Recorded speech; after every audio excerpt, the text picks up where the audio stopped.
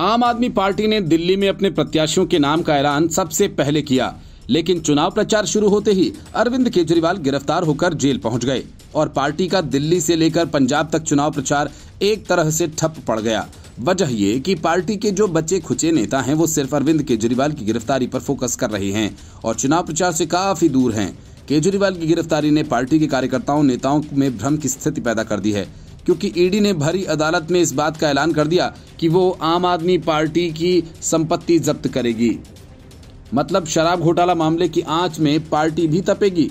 आम आदमी पार्टी के पार्षद पहले से ही हताश, निराश बैठे हैं क्योंकि नगर निगम की पार्टी ने किसी कमेटी का गठन नहीं होने दिया। मतलब एक साल नगर निगम ऐसे ही चलता रहा। सारा कामकाज ठप पड़ा रहा।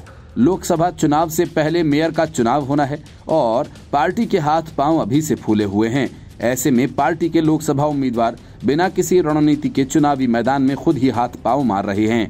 हालाँकि आम आदमी पार्टी का कहना है कि सीएम की गिरफ्तारी के समय कुछ अव्यवस्था हुई है, मगर उसके बाद से पार्टी का ध्यान अपने प्रत्याशियों के लिए चुनाव प्रचार की रणनीति पर है। और उसी के तहत पार्टी के प्रत्याशी प्रचार कर रहे हैं। आम आदमी पार्टी दिल्ली में तीसरा लोकसभा चुनाव लड़ रही है और इससे पहले पार्टी 2014-2019 का लोकसभा चुनाव लड़ चुकी है। इसके अलावा साल 2017-22 निगम चुनाव भी लड़ी है। 2013-15-20 का विधानसभा चुनाव भी लड़ी है। इन चुनाव में पार्टी के लिए लोकसभा चुनाव ही चुनौतीपूर्ण रहा है। यहाँ तक कि 2014 के मुकाबले 2019 में चुनाव में पार्टी का मत फ़ीसदी भी कम हुआ। पार्टी अब तक दिल्ली से एक भी सीट जीत नहीं सकी।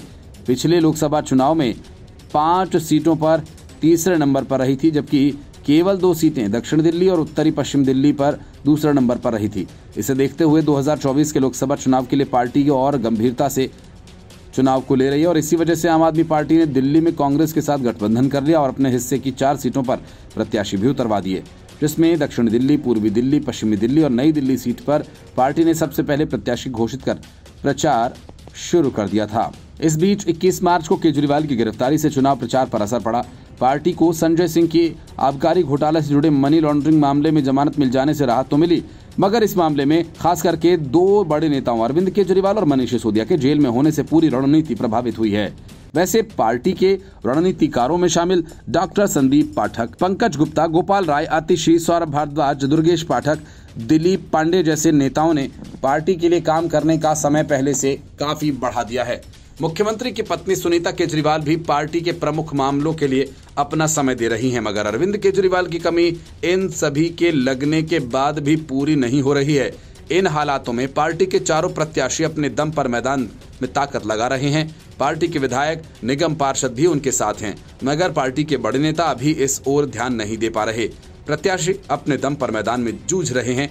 उधर, पार्टी के एक वरिष्ठ नेता ने कहा कि हम लोग मुख्यमंत्री को गिरफ़्तार किए जाने के लिए जिस मुद्दे को जनता के बीच लेकर जा रहे हैं, वह भी चुनाव के दौरान जनता से सहानुभूति लेने का एक बड़ा मुद्दा है। उन्होंने कहा कि सीएम भले जेल में है, मगर हम लोगों के प्रयास में कोई कमी नहीं है। उन्होंने कहा कि दिल्ली में मतदान के लिए अभी बहुत लंबा समय है और उसी हिसाब से कार्य किया जा रहा है। Bureau report, news of India.